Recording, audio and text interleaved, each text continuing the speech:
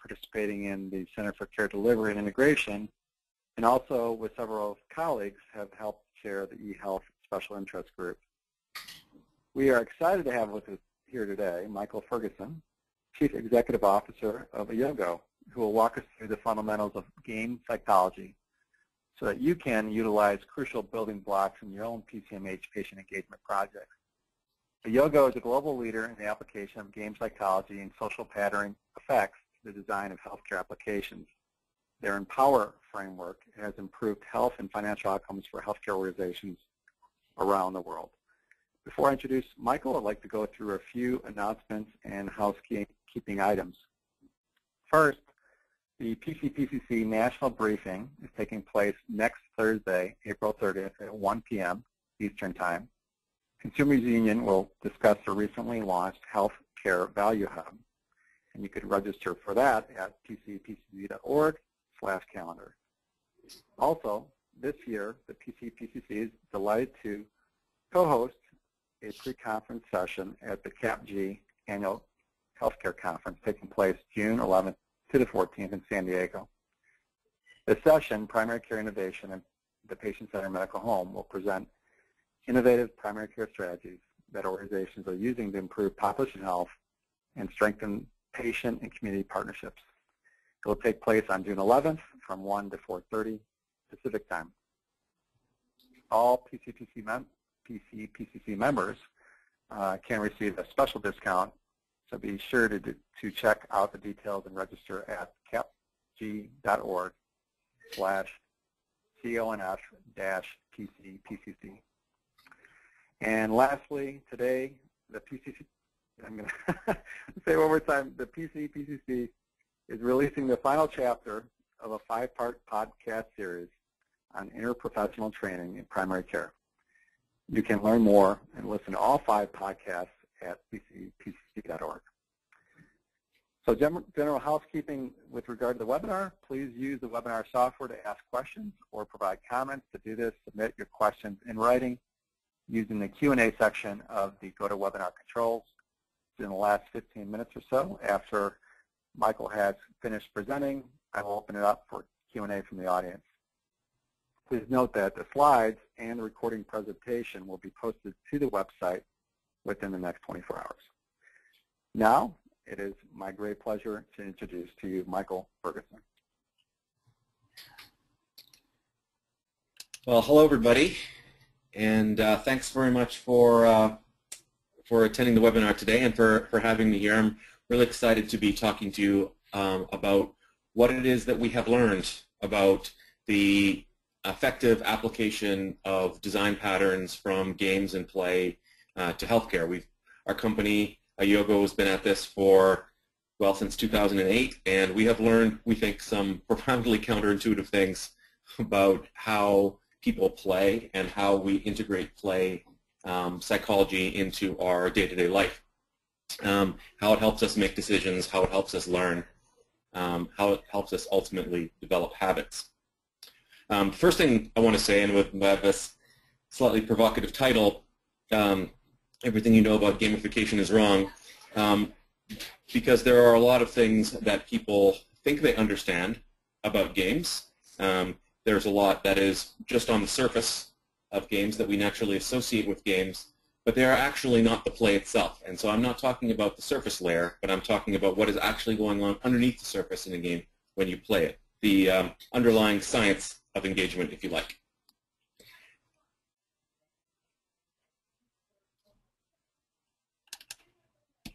Next slide.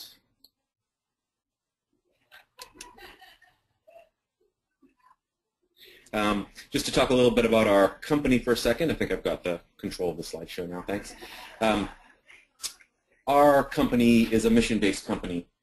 We are, our goal is to help the healthcare industry transform itself by changing the way that consumers think about their health and how it fits into their life. And I suppose I should say to change the way that consumers feel about their health because a lot of what I'm going to tell you today um, is about how to stop talking to people's brains, stop talking to their cerebral cortex, um, and start uh, stop talking to their heads and instead talk to their hearts. because we all know that really in the real world, we actually make choices with our hearts and then justify them after the fact with our heads. And we've been working with a variety of healthcare organizations, as you can see on the slide, and we've won a lot of awards. Um, they told me I should boast just a little bit, so here is me doing that.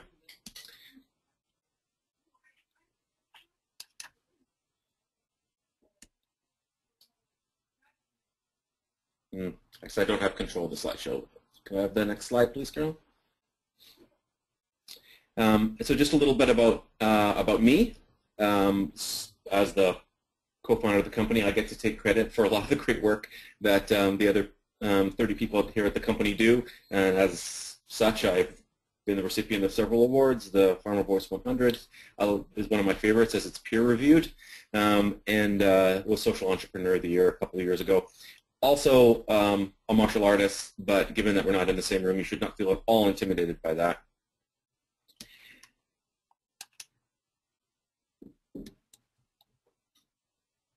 Next slide, please. Guess we're going to have to. Guess we're going to have to communicate, Carolyn, about the slides. Um, here's the problem as we see it from our vantage point. You, the clinicians and healthcare providers and, and healthcare professionals, um, you believe your job is to give consumers the tools they need to manage their health. But the healthcare consumers don't really seem to agree. Next slide. Um, we can move quite quickly through the slides, Kellen, and I'll ask you to go back if you have um, the time that you intuitively choose to move forward is not the correct one. I'm going to move through them quite fast. So um, you use, you give your patients, patients get tools, incredibly useful tools like this, uh, useful, important, even life-saving um, tools that they are expected to use, integrate into their day-to-day -day life.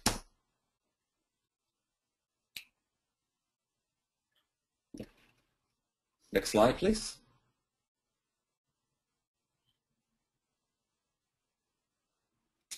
they proceed to ignore those tools, instead spend their time with trivialities like this. Next slide. So the question that we ask is why? Why are patients drawn to useless distractions instead of towards applications that can literally save their life? What is actually, um, next slide, what is actually the underlying psychology uh, of what's going on here? And the problem is actually fundamental to how your brain works. You have a 200,000-year-old brain, um, not optimized for a long-term instant gratification world, a world in which you have no scarcity and you are rarely in actual danger. Um, there's very little urgency um, in our world um, today, but our brains grew up, if you like, in an environment where what you did two weeks from now or a month from now or six years from now or the long-term cumulative effect of the food you're eating literally did not matter because you were probably going to get eaten by a hyena tomorrow. And so if you find a giant mountain of Krispy Kreme donuts in the middle of the African savannah, um, you better eat those because you might not get any food and certainly diabetes and the long-term effects of eating those donuts is not your problem. Next slide. But there's some good news that goes along with this, which is that we do actually need, even in those ancient circumstances, to, to develop habits, to build skills, to make long-term investments in our life and habits. And so we have evolved alongside um, this um, propensity for short-term thinking. We have evolved gamification as a unique strategy, uniquely human strategy for overcoming this propensity to distraction. So these two children here are playing the oldest and most important game ever. It's totally fundamental to the human animal, in fact, what they are doing right here, which is they are playing this game, hide and seek, um, which is a serious game. It, this girl and this boy are learning how to hide from predators which is the absolutely most fundamental skill for any mammal living in a dangerous environment, is to hide and to hide effectively. But how do you learn to hide effectively when you're five years old? You can't learn it all at once. You actually need to make long-term investments in the skills. Um, but as we I think we all recognize our brains are not designed for this kind of long-term thinking. It's very difficult for us to do to perceive these cumulative effects. So how do we do it? Well, we break it into small pieces and we play. Um, she's not going to be a perfect hider right away, as this boy's obviously not a very good seeker yet, um, although he may get better over time through practice. Um, also, at the same time, she's learning something very, very, learning other very interesting things about him in the course of this play. She's accumulating invaluable intelligence about is he merciful when he catches you too quickly? Is he a sore winner? Is he a sore? Is he a good loser? And these are um, important things that are learned below the level of consciousness. They're learned, they're, they're picked up intuitively and integrated into our thinking and our life without us even really thinking about it. To play is to learn, and is to learn not consciously, but subconsciously. Next slide, please. Now, one of the, we often hear uh, about gamification frameworks and gamification tools and gamification processes, and they often end up um, looking like um, adding points and badges and these kinds of um, uh, these kinds of uh, um, outward expressions of game um, of game uh, games and play um, on top of other systems. Um, we often get asked, um, can you come and help us integrate points and badges into into our programming? Points and badges are not play. Adding points and badges on top of systems that are not designed from the ground up to be playful, to conform to the fundamental design patterns of, of play. Adding points and badges to systems like that is just like welding wheels on a bicycle. Sure, it looks like a bicycle. It's got a seat and it's got wheels and it's got a handlebar. Looks like a bicycle. But I guarantee you as soon as you get on it and try to go anywhere, you will be bitterly disappointed. In fact, you will be upset in a way that you were not before you got on the bicycle. You're not in any worse situation you're not going anywhere, just like you were not going anywhere before, but now you're upset about it. Now you feel ripped off. And this is why, this is the problem with taking this outward, um, uh, uh, superficial approach to gamification, not understanding the underlying psychologies. You end up ultimately disappointing, and you end up in a worse place than where you started. The wheels on the bicycle need to turn. It needs to conform to the physics of bicycle, just as if you're going to um, try to add the kind of engagement that you can get through games and play, you need to actually understand what the underlying mechanisms are. Next slide. And so those underlying mechanisms um, are actually pretty um, well understood. Um, there is a whole industry, a multi-billion dollar industry that has been around for decades, doing nothing but trying to understand how to get people to do things that they wouldn't otherwise do. how to get people to pay attention and be engaged with systems. Um, in fact, a game doesn't need to do anything. A game, a pure game, needs to do nothing except engage you. That is its only purpose. And so we can learn a lot by looking at those systems and, and understanding how they work. What is the underlying psychology of, of this play activity? And look at how we can integrate those design patterns into our applications. Next slide. And so those design patterns um, are, as I say, quite uh, quite well understood. You could quibble about whether they're I could break these down further, or maybe I could merge a couple together. But these are fundamentally um, the five um, key design patterns. If your system has these five things, then your your system will feel like a game. Um, it may not be a good game. Lots of games get built every day by people who are expert at building games that are just not fun and not playable and not engaging. Um, it's an art as well as a science. But you can design as well as you like, and if you don't have these five things, your game will not be playable. Um, so it's really important to understand that these five things have to be present. Um, the, the participant needs to be able to make meaningful choices, um, not, um, not fake choices, not one obvious right way to do it and another one that's just there to take up space. Two actual, realistic, different ways to get to the destination. Real um, strategy. I think of strategy games. Think of hide and seek. I'm going to use hide and seek as a metaphor um, here because I think it's quite easy to understand. We've all we've all played it, and I want to make it clear also at the same time that I'm not talking just about video games, but I'm talking about any kind of play. So you actually, as you're playing that game, you need to make meaningful choices about where to hide and how to hide. Am I going to hide up low? Am I going to, um, am I going to um, pick a place that has other distractions in it to make it easier for me to hide and so on. You make meaningful strategic choices. There needs to be obviously a real conflict, some kind of real challenge to be overcome that the person feels emotionally involved in. And uh, uncertainty is a characteristic of these, uh, uh, it is a principle of engagement that I think is not very well appreciated in general. So we spend a lot of time in healthcare applications making things certain, scrubbing uncertainty out of the systems that we create so that the participant always knows what they're supposed to do and they always know what is going to happen. This actually runs totally counter to interest. Think of the most boring things in the world, watching paint dry, watching water boil. What makes them boring is that they are totally certain. You know exactly what is going to happen and when it is going to happen. And that is what makes it uninteresting. If you want to make something interesting, you need to make it a little unexpected. Imagine that when the paint dried, the moment that it dried, it changed to a random color.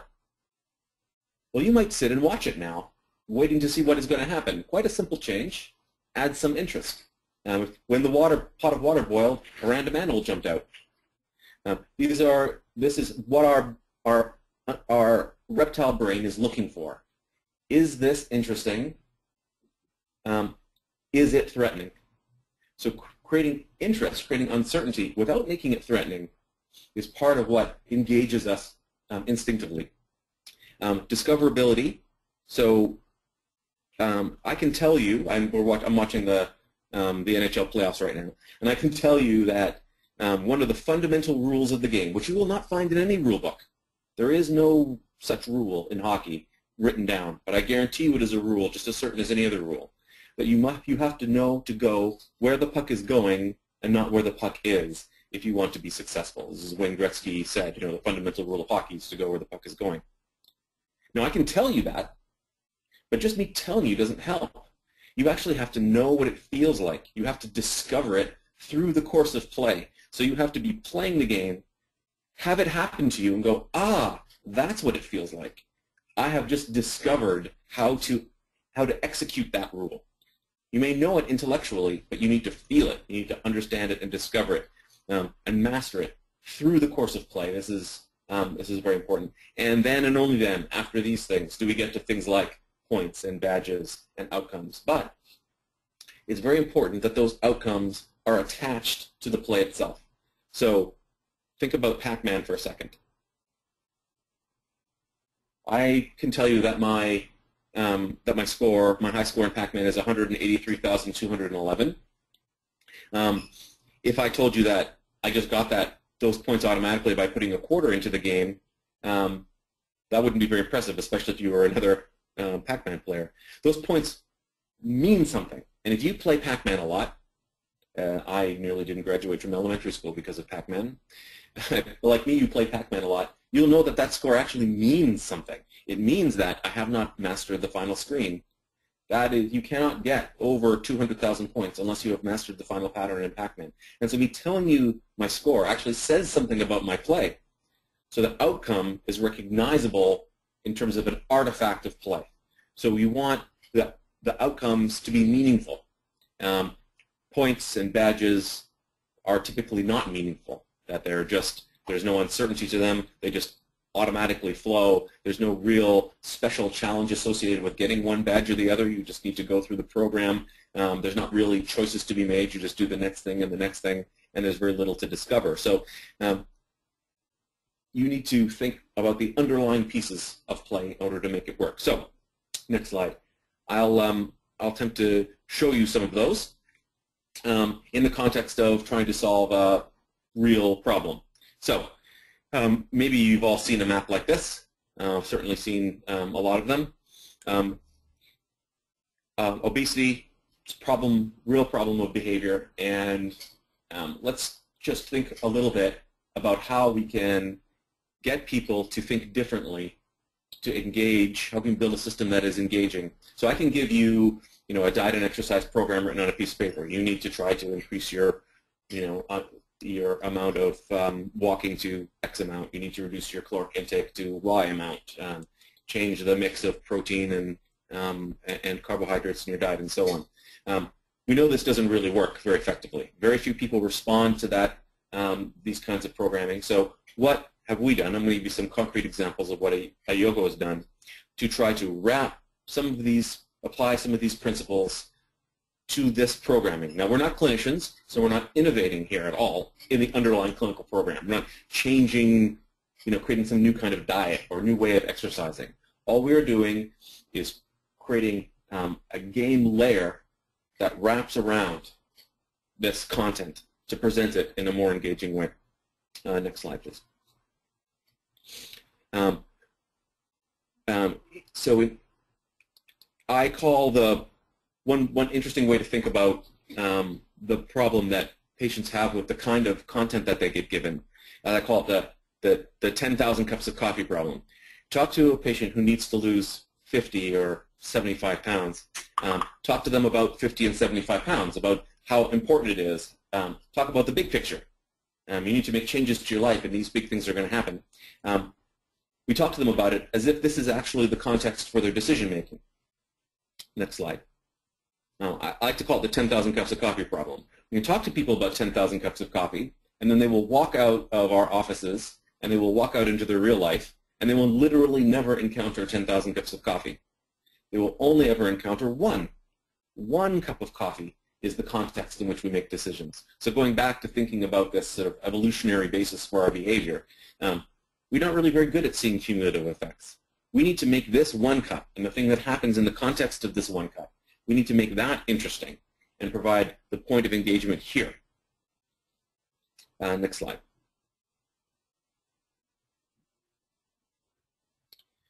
So a good place to start is to think about where the challenges are.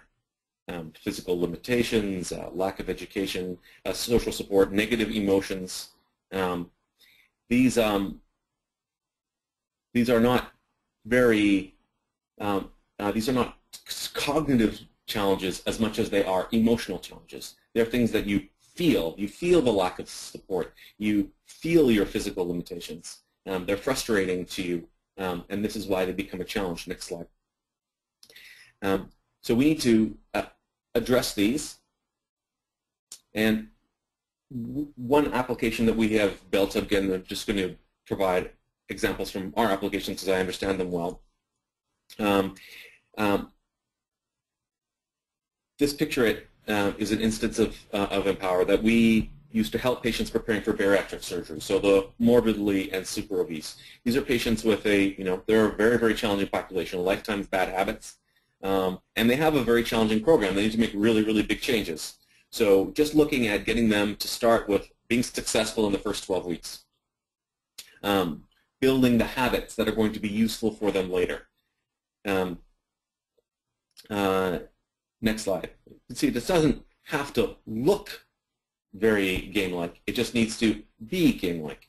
So it works by starting with their self-concept, talking to them about them, talking about how they feel, um, help them be, start already successful, create rituals of success to engage, rituals that um, provide a, a, sense of mastery over time and rewards that are um, that are really useful.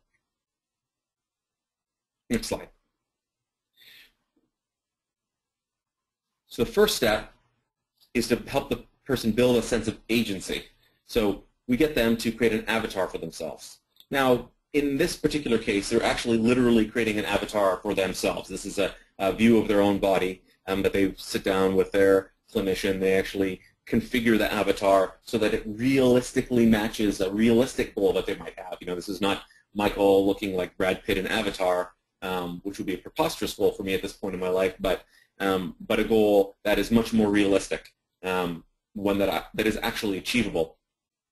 Um, we call this process loading.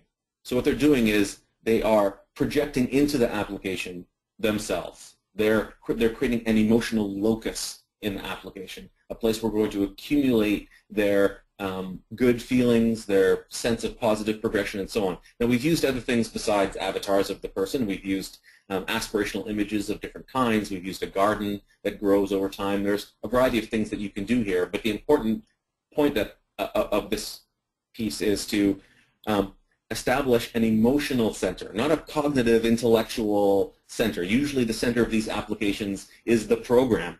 But we don't want to make the program the center. We want to make the person's feelings the center. We want to talk to their heart first and talk to their head second.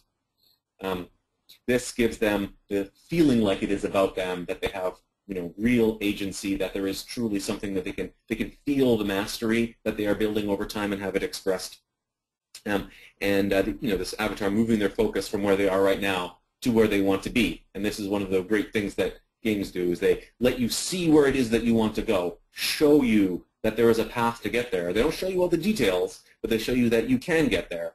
And then they let you find your own path to that goal. Right, next slide, please.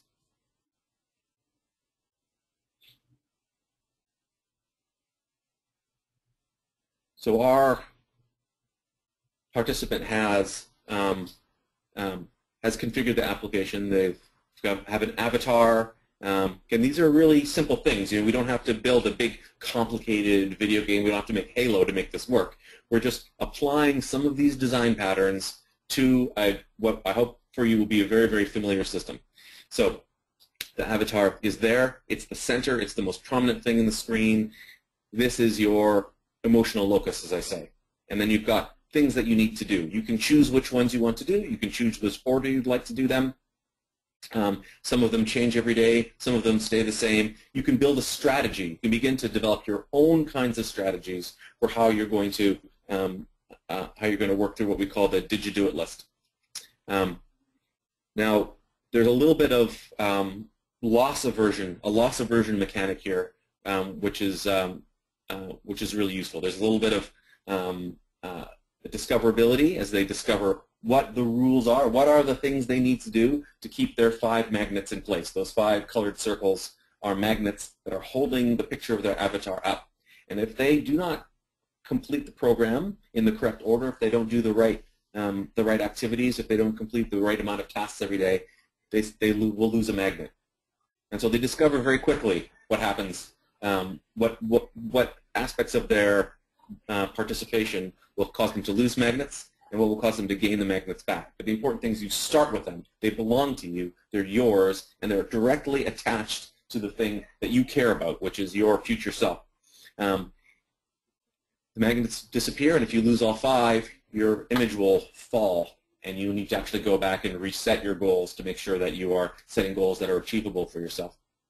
Um, the five magnets, hold your avatar up. Don't lose them. And we have um, um, we've discovered this is this very very simple piece, very very powerful psychologically. The first time you see that red X appear, and it's jarring and ugly in the middle of the screen, you want to make it go go away, and you'll do what you need to do um, to to make it go away uh, most of the time. Um, next slide, please. Um, so you start your day with your um, your core activities. There's, again, some rules which we don't need to explain. You discover them. Um, things that are not yet done are amber. Things that are done turn green. And um, there's a little success ritual. So every time you do something successful, you have the opportunity to celebrate. Um, it's a very simple thing, and we only ever use this swiping motion from left to right um, when the person has done something good. So that movement is saved for success, and it becomes the punctuation mark on having done something successful is to swipe something that turns green, swipe it from the left to the right, and swipe it off the screen. We give a little animation, um, we give a little bit of sound. It's slightly different each time, so there's some uncertainty, just a little sprinkling of uncertainty, um, a, a, moment of surprise and delight when you see um, something that uh, you didn't expect to see and you swipe it off the list. Um, next slide.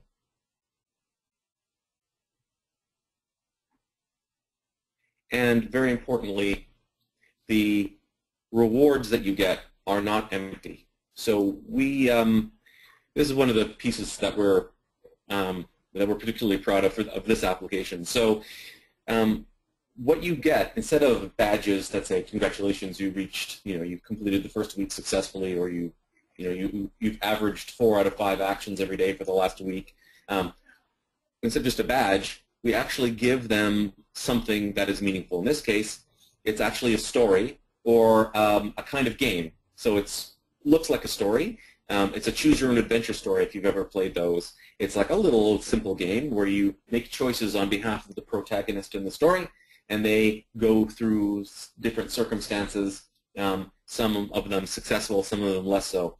The key thing, though, is that, first of all, all the stories about things that are clinically meaningful. These are stories about people who are patients just like you going through the same circumstances. And we give you a sense of well, agency, um, uncertainty, discoverability as you move through this small game, um, choose making choices on behalf of the protagonist, some of them good, some of them not so good.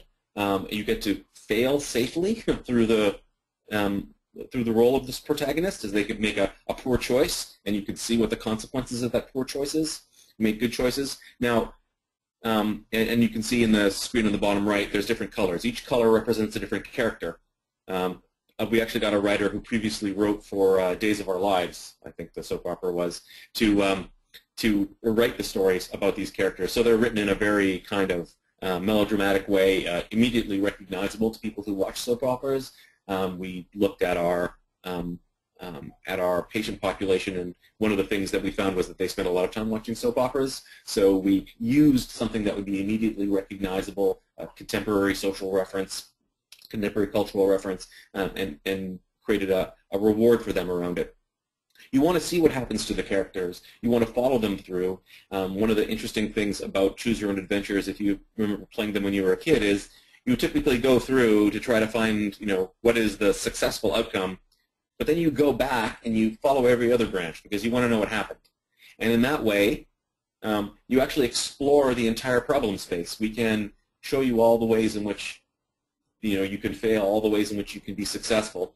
And our clinicians tell us that uh, it's been very useful to them to um, talk about subjects that would otherwise be very challenging to talk about. So, you know, we like to say issues of the bedroom, issues of the bathroom, um, issues of the kitchen. They can be quite challenging to bring up, um, especially if there's a, you know, maybe a group therapy session or even one-on-one. -on -one. But because we can talk about the protagonists in the stories, well, what do you think about the strategy that Maddie took this week in the story?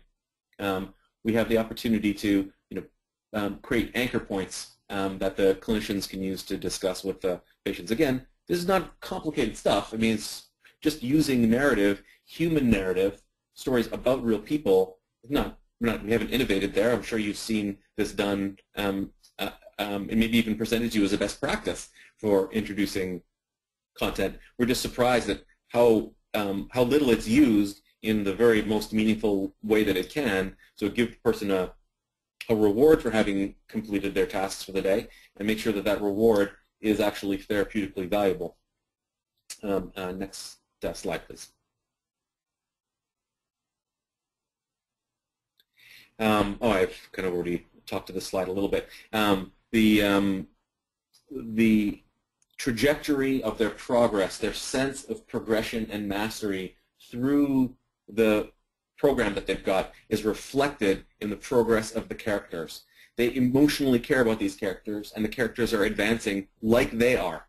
And so uh, they feel, they when we interviewed them afterwards, um, uh, each of the pilots that we've done, they tell us that they actually care about moving the characters forward. Sometimes they came and they did the things they needed to do in the program, not for themselves, but for these characters, because they cared about them and they wanted them to advance in their lives. They wanted to make sure that Maddie found love or that Brenda found out who was, um, you know, who was the father of her best friend's love child. You know, these are things that they cared about, and um, and they wanted to move the stories forward. Uh, next slide, please. So you might ask, what are the results? So um, you know, these are a summary, obviously, and, and, and preliminary results, but um, but very, very um, encouraging and promising. So the patients were organized, you know, were selected randomly into three groups. One group got um, the weekly meeting with the coach. Uh, one group got a weekly meeting with their coach and the Fitbit that we used to track their physical activity. We didn't get them to log everything. We got them to use the Fitbit to um, to to gather activity about their about their exercise. And the third group got the weekly coach, the Fitbit, and our software. And so that third group, 60% um, of them used the application every day and completed, um, on average, three of their five care plan tasks. That group lost three times as much weight and maintained their weight loss better in our follow-ups at 12 and 16 months. Um, so we're really encouraged by how we, primarily how we got them to come and use the application every day. Um, you know, patients who are in this group often feel that their food and their eating becomes medicalized and they start to turn off, they start to avoid, and you have to see avoidance behavior. But this group was using the application every day. They wanted to be there, and they came to be there, at least a majority of them did. Uh, next slide, please. Um, and I'll just sort of give you, I didn't talk very much about social, but I've, i think I've got a little bit of time, so um, I'll, I'll talk about it. Um, social networks um, are, um, are an important part of our thinking about how to design these systems because in the end, there's really no software that can be made, no software you can design that's as interesting and engaging as another human being. You know, our brains are set up to just recognize other human faces, to recognize the distinctive sort of signature in the behavior of, an, of, of another person in the system. Um, in spite of ourselves, we orient ourselves to other people, even without meaning to. I, maybe you've had this experience of finding you know that people will slowly take on the accent of the people that they're talking to just very subtly or switch their body language. It's part of our nature as pack animals to do that. Um, social networks, though, as they're typically designed, Facebook and Twitter and so on, are publishing-oriented social networks. They're about expressing yourself outward, creating a presentation of yourself that you show to the world.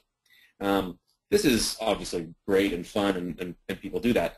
But it turns out, as we look at actually what happens under the covers of social networks and whose behavior we can influence the most and what influences their behavior, it turns out that it is the incoming messages that really matter. Messages that come in, and um, we built an application for type 2 diabetics on Facebook um, you know, four years ago as one of our earlier projects. And we saw something really curious, which is that um, everybody had the opportunity to publish what they were doing um, at, in terms of the maintenance of their uh, of their diabetes and of their their diet and exercise program on Facebook. But it turned out the people who received incoming messages were the ones that were the most adherent. That there was some relationship between publishing out, um, sending messages of support, or some relationship between the publishing um, and, uh, and, and changed behavior. But it was the incoming messages, the people who received incoming messages, even if they never sent any. So the difference between people who received messages and sent, and the difference between people who received but never sent, well, was actually very small. And people receiving messages is what really mattered. So we like to use very, very simple, you know, we don't have to integrate Facebook or, you know, wide open social networks, but simply getting a message from another person that says, and, and we like to, we do our best to keep them positive, we want to curate and moderate these messages so that the patient is receiving timely messages, um, positive messages, and messages that are clearly from another person um, in support of their um, of their behavior program. If you think about playing Candy Crush, um, one of the things that uh, Candy Crush does right away is it asks you to log into Facebook. Why? Um, yeah, they want you to, to promote the game to your friends. Um, that's true. But actual fact, um, the most important thing that happens is you get an incoming message from your friend that sent you some lives, and it reminds you to come back to the game. It tells you that other people are watching you play, and they care about your success, and they are sending you things. So you have an obligation to live up to their expectations. This is the underlying message. And um, having built a lot of social games um, for um, commercial games, I can tell you it's very effective. This is actually the most effective use of social networks is to get um, people um, people who are playing the game already to encourage each other to participate more.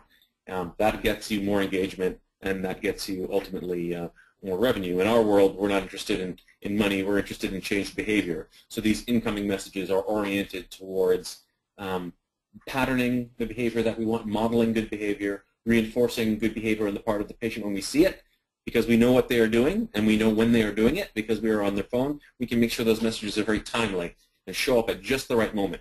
wow, what a score, shows up just at the right moment. Doesn't matter that the person didn't write out that text, whoa, what a score, they just pressed a button. You know that it came from a person, and they chose that message for you. And um, uh, that turns out to really matter. Uh, next slide, please.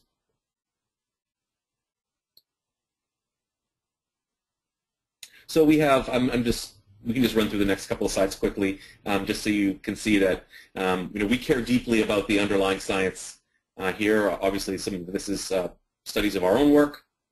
Um, and the next slide, um, uh, work of others that we have contributed to. Um, next slide is um, general uh, papers that we found interesting and, um, and influential in our thinking. These will all be in the slides that are distributed to you in case you're, um, in case you're very interested um, in seeing any of that. Um, I'm sure you are. This uh, outcomes and evidence-based medicine is what we're is what we're about. Um, and of course, we could make the most beautiful systems in the world, but if they don't actually improve outcomes or uh, uh, change behavior, then what good are they really? Um, my next slide it says, thank you uh, for having me, and I'm very pleased that I had the opportunity to show you um, some of our work. Uh, we're very excited about the results that we've seen so far. Um, we think that there are some very simple um, but very effective lessons to be learned um, here that can be applied, we think, in your work. Again, you know, with the underlying um, message that you know people make choices with their hearts and then justify them with their heads. So the first place to go is to their heart, and um, this is what games are all about. Games are all about how you feel, and um, we could uh, learn a lot from how these games get designed to provide engagement in the first instance, and then provide intellectual stimulation in the second instance. So um, on that note, I'm happy to uh, uh, to take any questions. Great. Thank you, Michael. That was fantastic. Um, at this point, please feel free to use the Q&A section to submit your questions. We are getting some questions in. I, I just, um, before we start with um, the audience questions, I just had a couple quick one, quick questions for you. One is, um, you know, there is a tremendous trend right now towards uh, fitness style devices, Fitbit and, and the like, and we're we're seeing that typically there a lot of those are abandoned within a short period of time. Um, how does this approach and gamification really help with the stickiness of those um, devices and information? And then what what role does or do you see the care team play with encouraging usage and goal setting with those types of uh, devices? Yeah, excellent, excellent question. And, and I should say, you know, in in the preliminary results that I was just showing you, we found there was no difference in, in um, either uh, engagement or outcomes the patients that had just a Fitbit um, from the other control group that had just the coach. So, um, you know, Fitbits alone don't do anything, and um, or any kind of fitness. So I don't mean to pick on Fitbit, but uh, um, the the I think the the the reality is, is that they are producing data that's what these devices do. They produce data, and um, they produce large amounts of really unreliable data. um, so, you know, for, for whom is that interesting and useful, ultimately? Large amounts of unreliable data. How interesting is it for me to be told, hey, no, that thing that you just did, that turned out to be 9,362 steps. Oh, wow, amazing. I thought I only did 8,444. Thanks a lot for telling me. Um, you know, this is not actionable. It's not useful. Um, in fact, the real value that we see in these devices, and we and we love to use them, is that they provide us with information, provide us, the developer um, uh, of the of the software, the provider of the program, some context that we can use. So that the person just exercised turns out to be really, really useful information for us and we can use that knowledge that they just completed, you know, a long walk or five minutes of chair dancing or whatever it is that they that was part of their their program. That's a context in which we can um, we can add value. So, you know, people pick up these Fitbits. There's some novelty to them, or these activity trackers. There's some novelty. Um, there's some things to discover. There's some uncertainty. How does it work? What will it tell me? Once you've figured it out, they're just simply not interesting anymore. Oh, well, it just counts my steps. Well, so what? So what indeed? Um, but we, that is us collectively, can use that information to provide the, um, the consumer with some opportunities, some opportunities to act, some opportunity we can provide them with some value in that moment, some a message of encouragement. They actually, I think most people don't actually want to know how many steps they're taking. I mean, there's there's a small number that really care about the details, but most people actually don't care how many steps they took. They just want to be acknowledged for having taken some, and that's our opportunity to step in and give them the right message of encouragement at the right time.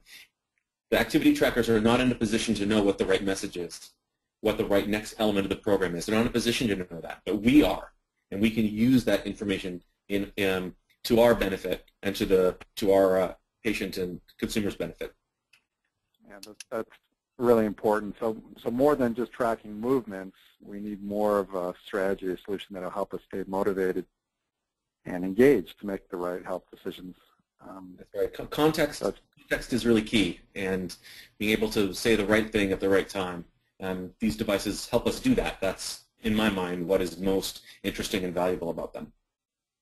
Great. Um, there's some questions regarding cost and approaches to mitigate some of the cost.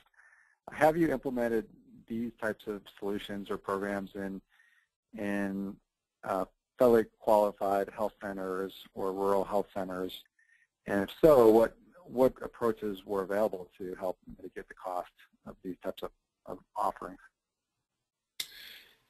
Um, there's, a, there's a lot packed up in that uh, packed up in that question. Um, we have um, we've deployed our software in a wide variety of contexts, um, and um, you know the the thing is that um, you know when I talk about context, and it's not just you know what the person is doing, but who the person is, and so that you know the application that I showed you a lot of, picture it is deployed um, mostly in the Southwest, and um, we spent quite a bit of time um, looking at those patients and understanding them. You know, what are their, what is their, um, you know, what is their cultural context to make sure that we're speaking to them in the right voice, in the right way, that the faces that they see are recognizable to them.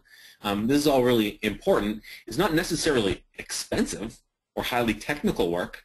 Um, but um, but very very important to know who you're speaking to and what you're speaking to them about, um, so that you can deliver um, applications that they uh, will recognize as their own, where they can you know we can establish that emotional center um, to the application. It it doesn't need to be expensive at all, really. I mean, I mean we we do build systems that um, you know that are complex and provide all kinds of back-end automation to work for very large populations. But the underlying approach, you know, from a, the, the user experience approach that we take is actually quite simple and um, and can be applied easily in all kinds of ways. I mean, I, I picked the example hide and seek quite deliberately. I mean, what could be what could be less expensive than um, creating that kind of what we call a barely game because there's no obvious rules. There's no obvious win state. Um, you know, there's no referees. You know, there's no software that supports it. Um, but it is an instinctive kind of play, and understanding that children like to play in this way um, lets us, you know, give them opportunities to play. So we can adapt that simple game, the kind of game that people are already playing, um, can be adapted um, to the circumstances just by understanding, you know, what are, you know, how, how does that game work and, and how can we use it. So um, you know, we like those kinds of barely games as a starting point, and you know, you can end up with some very complicated systems that get integrated into hospital workflow systems, and you know, you can you can go a long way with it, and, and we are because we think there's a great opportunity to do it. But we like to share um, our design approach because we think it is actually really simple, fundamentally, to um, add these kinds of mechanics, this what we call the ACUDO framework, agency, conflict, uncertainty, discoverability, and outcomes, um, just to use that kind of design thinking in um, putting together programs either for individuals or, or, for groups. Hopefully, I, hopefully I answered the question. Great. Uh, next question has to do with um, the types of populations that this really works with. Uh, have you seen any differences or meaningful differences with patient participation based on age? Um, this particular um, person works with Medicare populations, and she would like to know which games are most effective for that for that group. Excellent, excellent, excellent question. I'm glad that somebody asked that. Um, uh, it everybody plays. So one of our, you know, hopefully one of the messages that you, you take away from this is that I'm not talking about video games. Video games are a kind of play that is very popular with a certain demographic. Now, we've designed for people who are elderly as well as for children. And the only difference, because our brains are basically the same, you know, the only real difference is um, the kind of game that they are playing and uh, the style of game. So, um, you know, obviously there's some cultural differences there. You know, young people grew up around devices and they're very used to using the device as, a, as the primary interface for play and certain styles of, of play are, are very comfortable on the device. Um, if you're talking about older populations, I mean, my mother is a hardcore gamer. She's 80 years old and she plays bridge twice a week. If I'm going to design systems that intend to engage her, I should spend some time looking at how she plays bridge what is it about the bridge game that engages her? What are the what is the style of play? How does she engage with the other people around the table? What it is about that style of play that is so engaging to her, and then try to replicate it. We don't need to invent new games here. Everybody plays. Every population has a kind and style of play that they engage in, and we can, uh, once we understand it, we can begin to use those same design patterns in the applications, other applications that we were providing them to uh, provide a lift in engagement. Um, interestingly, the very young turn out to be the most challenging to design for. And that is because there's not very much track record. When you're talk, doing your designing for a 12-year-old, the games they are playing now, they probably haven't been playing for very long. And so it's difficult to see exactly what is it about those games that they like so much because there's not very much time spent playing them, uh, or, or, very or, or there aren't very many variations on the kinds of games they're playing either because it hasn't been around that long. For somebody who's in their 80s, I've almost been playing bridge almost her whole life, so actually I can really look and see. It's actually quite easy to study. So um, turns out that it's actually easier to understand the play styles of the old as opposed to the play styles of the young, just for that reason alone. Now, the young are more prominent in social media and more prominent in conventional media, so we have that benefit um, as well. But you know, uh, for the boomer generation, we actually know a lot about them and how they play and what matters to them, so we can use that um, to our advantage. Great. I think we have a, uh, time for just a couple more questions. This question has to do with um, consumers' willingness and, and ability to access their health information. Um, part of uh, meaningful use is uh, encouraging patients to to log in and, and, get access to their health information. And have you seen any gamification strategies to help consumers understand that information and act upon that information to improve their health? Um, yes, yeah. Uh, so I, I, think there's, you know, it's still relatively early days um, for um, health IT in general. You know, patient-facing health IT is a relatively um, fresh field, so there's still um, a lot to learn, and there's been a lot of approaches that have had you know kind of ambiguous results. But um, you know, and so you know, speaking just from our our own experience, um, I said you know the important thing is you know information without context is just not useful, and so um, in fact you know because of the way our brains work, you know, we look at any new thing and we say, you know, is is this threatening? Um, can I safely avoid? Can I safely ignore it? And um, you know, will it help me survive?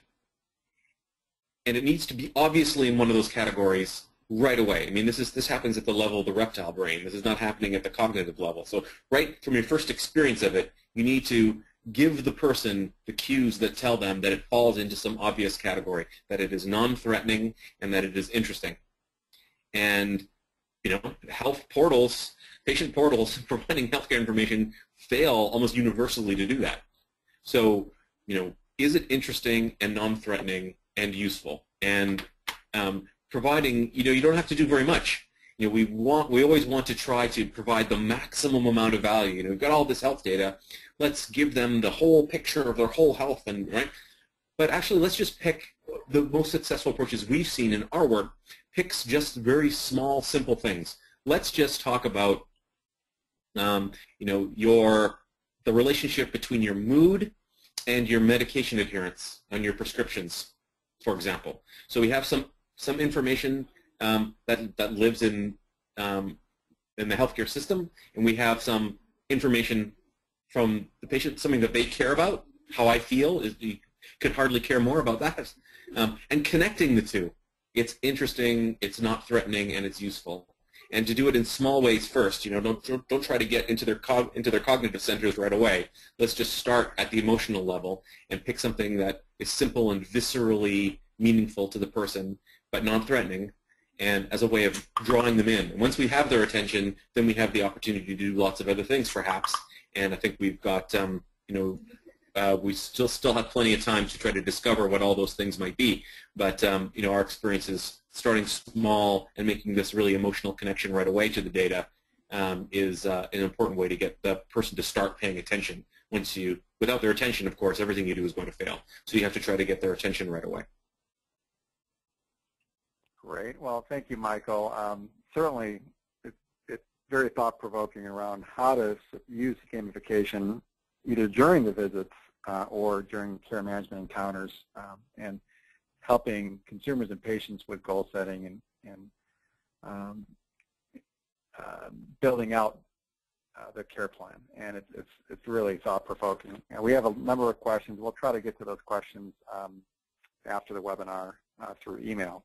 But I would like to thank uh, Michael, um, yourself, and Ayogo for um, all your time today. It was fantastic.